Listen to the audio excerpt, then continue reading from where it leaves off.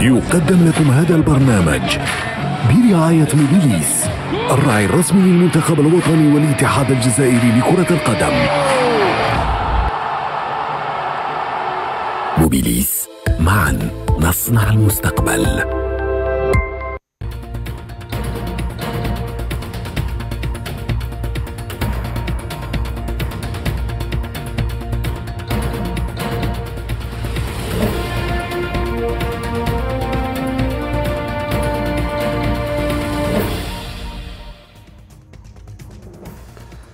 أخبار الرياضة من الجزائر الدولية والبداية بأخبار الكرة.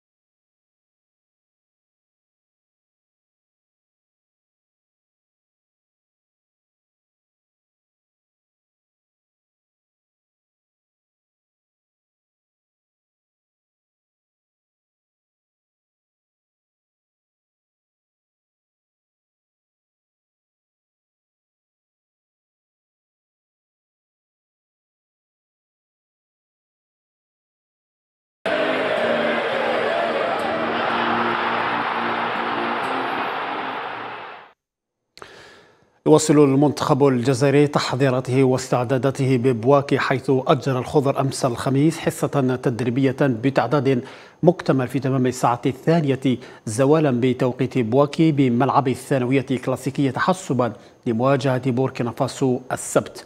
هذا وسيعقد الناخب الجزائري جمال بلماضي ندوة صحفية الجمعة في تمام الواحدة زوالا بالتوقيت المحلي والتي تسبق المواجهة وسيكون مرفوقا بمتوسط الميدان إسماعيل بن ناصر على أن يخوض الخضر آخر مران لهما الجمعة بداية من الساعة الثالثة والنصف بتوقيت الجزائر وستكون مفتوحة أمام مختلف وسائل الإعلام.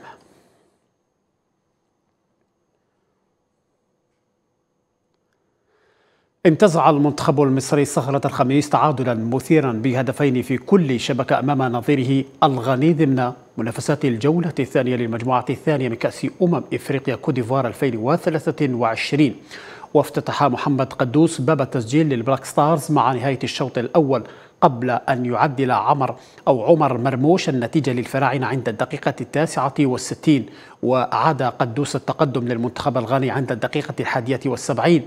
لكن مصطفى محمد أدرك التعادل عند الدقيقة الرابعة والسبعين ورغم الفرص العديدة التي أتيحت للطرفين في ربع الساعة الأخير من المباراة إلا أن كل المحاولات باءت بالفشل.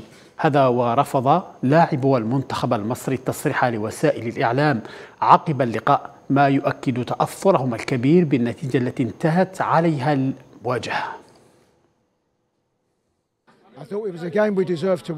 لعبنا من أجل الفوز لكن مصر تملك منتخبا جيدا ولاعبين في المستوى.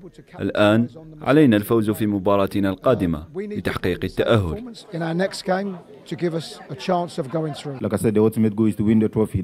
هدفنا هو الوصول إلى النهائي والتتويج بالكأس. هذا هو الهدف الذي جئنا من أجله. علينا أن نلعب مباراة بمباراة والتطلع للحصول على النقاط الثلاث في المباراة المقبلة. ثم بعدها التركيز على الفوز بجميع المباريات والتتويج باللقب. لا يمكن تقبل الطريقة التي تلقينا بها الهدف. خطأ فردي كنا قادرين على تفاديه.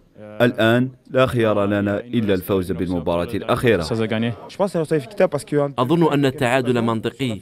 المنتخب المصري كان قادرا على تسجيل الهدف الثالث مثلما كنا قادرين على فعل ذلك. وأعتقد أن التعادل كان منطقي.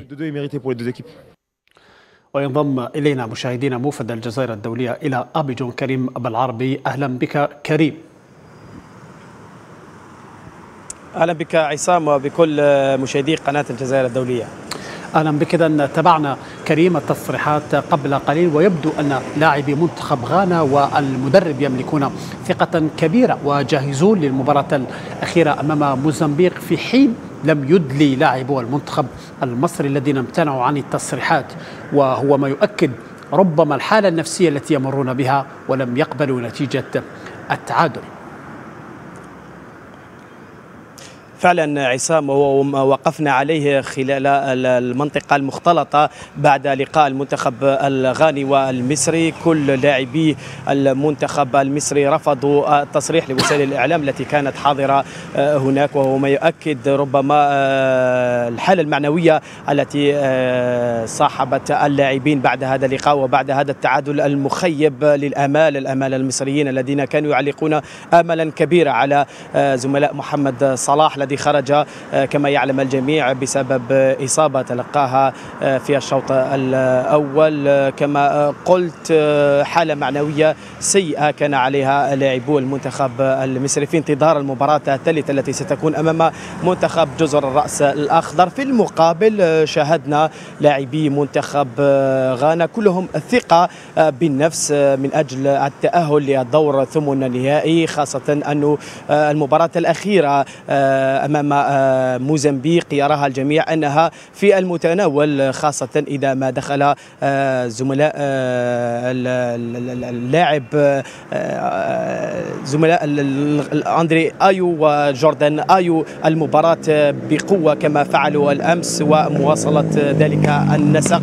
أكيد أنهم سيفوزون على منتخب موزمبيق. هو ما هذا ما أكده اللاعبون الذين يعلمون جيدا أن ثلاث نقاط هي الكفيلة للتأهل هذا المنتخب إلى الدور الثمن النهائي.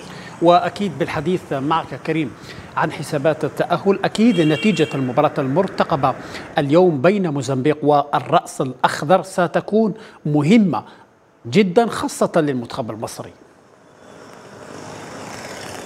فعلا مباراة ستحدد معالم المجموعة الثانية. منتخب جزر الرأس الأخضر يملك ثلاث نقاط بعد فوزه على غانا في الجولة الأولى.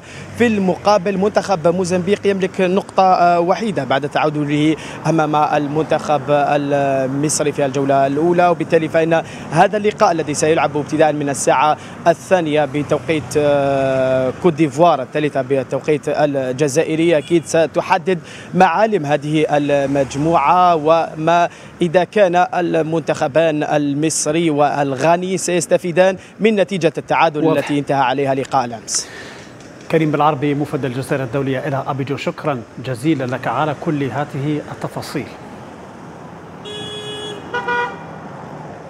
حققت نيجيريا فوزا ثمينا بهدف نظيف على كوديفوار في المباراة التي جمعتهم الخميس ضمن منافسات المجموعة الأولى لكأس أمم إفريقيا وجاء الهدف الوحيد في المباراة من ركلة جزاء. نفذها ويليام تروست إيكونغا في الدقيقة الخامسة والخمسين وبهذا الفوز تتقاسم نيجيريا صدارة المجموعة الأولى مع غينيا الاستوائية بأربع نقاط بعد فوز الأخير على غينيا بيساو بأربعة أهداف مقابل هدفين.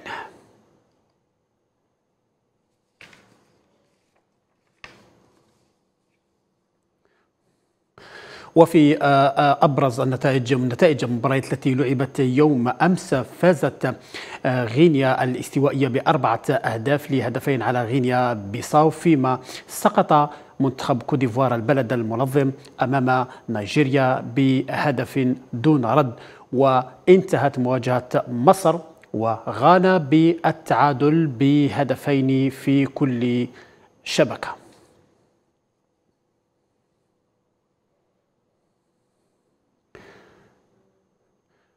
وفي باقي مواجهات اليوم يواجه جزر رأس الأخضر موزمبيق فيما يلاقي آه، منتخب السنغال منتخب الكاميرون وفي المباراة الثالثة تواجه غينيا غامبيا.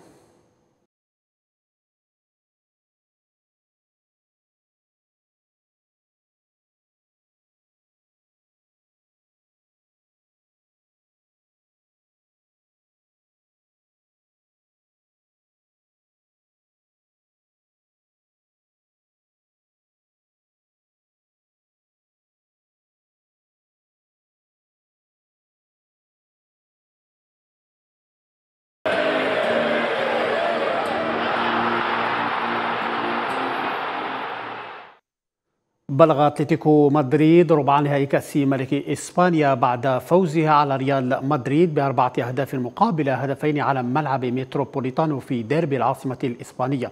وانتهى الوقت الأصلي للمباراة على وقع التعادل بهدفين لمثلهما ليضيف الروخي بلانكوس هدفين في الشوط أو في الأشواط الإضافية.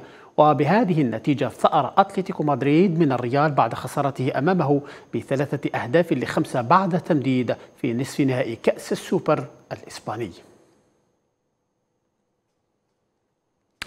ختام أخبار الرياضة. شكرا على المتابعة.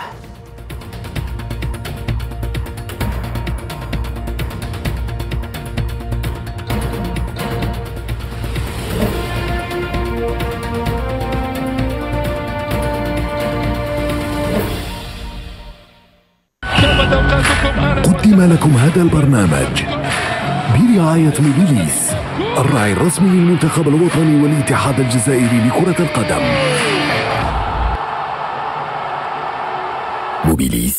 معا. نصنع المستقبل.